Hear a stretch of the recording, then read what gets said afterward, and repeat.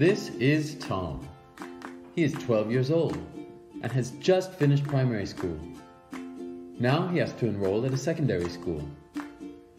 Therefore, Tom and his parents attend the virtual open day of LESC's European School, the international school at Steichen, and are immediately excited. They have never seen such a future oriented and technologically advanced school. But what exactly is a European school?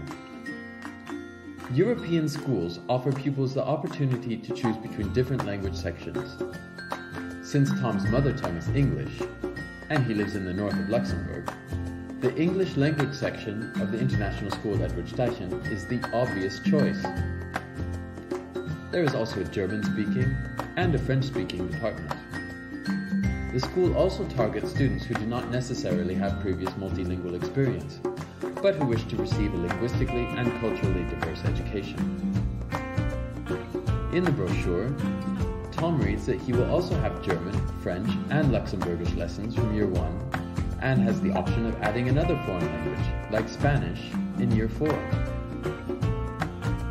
But that's not all.